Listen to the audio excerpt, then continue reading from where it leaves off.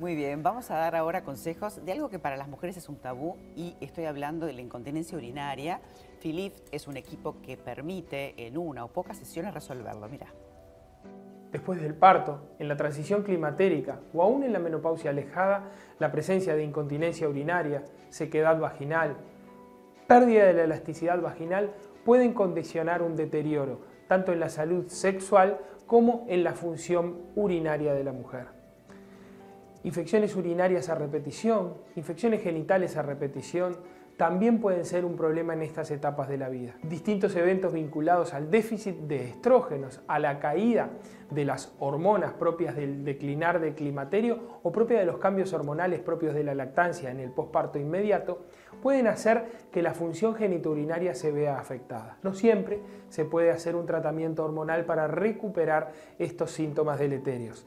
Un tratamiento de naturaleza física, como es el tratamiento con láser, va a recuperar la biología del tejido, recuperando la hidratación, la elasticidad y la continencia urinaria. El concepto de rejuvenecimiento vaginal va de la mano de recuperar las propiedades biológicas que se han perdido del tejido, con un rápido control de los síntomas, con una reversión de los síntomas desagradables, aún después de la primera sesión recupera biológicamente el tejido a través del estímulo del fibroblasto a producir colágeno más joven y vasodilata a través del calor, produciendo una recuperación de la hidratación vaginal que se pierde en algunas circunstancias de la vida.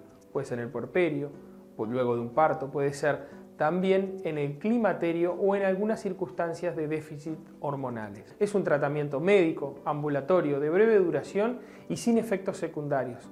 Su rápida recuperación permiten hacerlo competitivo contra otras opciones hormonales para tratar la misma patología. En circunstancias donde el tratamiento hormonal de reemplazo a nivel vaginal está contraindicado por patologías neoplásicas, secuelas de cáncer o por la propia decisión de la paciente de no elegir un tratamiento hormonal, el láser es una opción física, sin efectos secundarios, sin efectos hormonales y sin dejar ningún tejido residual. Recuperar la continencia urinaria que se ha perdido, recuperar la función sexual que se ha deteriorado, es un derecho sexual de la mujer.